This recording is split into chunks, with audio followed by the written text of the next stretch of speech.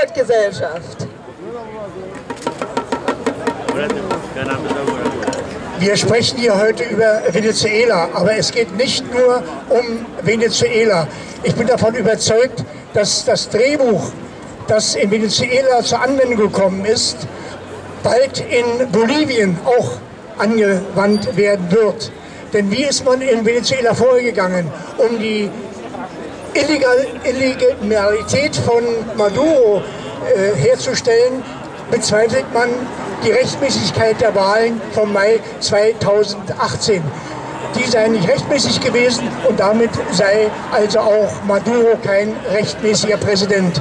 Dieses Argument wird man auch in Bolivien anwenden, wenn es dort im Oktober zur Wahl kommt und Evo Morales und äh, Alvaro Garcia Linera wieder für die MAS, für die Massbewegung zum Sozialismus äh, kandidieren. Das will man verhindern.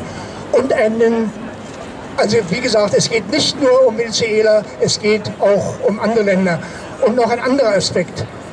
Hier wird sich eingeschossen auf Maduro. Maduro soll weg. So wie man das im April gesagt hat, Ortega in Nicaragua muss weg. Es wird immer personalisiert personifiziert und damit davon abgelenkt, dass es eigentlich um das System geht, was man beseitigen will. In Venezuela den bolivarischen Prozess und in Nicaragua den saninistischen Prozess. Das will man beseitigen.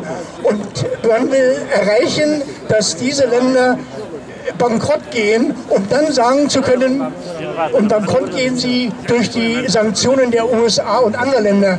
Äh, gegen Nicaragua, Kuba, Venezuela. Und wenn die dann bankrott gehen, dann wird gesagt, von diesen Ländern, die Sanktionen verhindern, das funktioniert nicht. Diese Systeme funktionieren nicht. Eine andere Welt ist nicht möglich, soll uns damit suggeriert werden. Aber wir sind dafür, eine andere Welt ist möglich und nicht nur möglich, sondern eine andere Welt ist auch nötig. Danke sehr.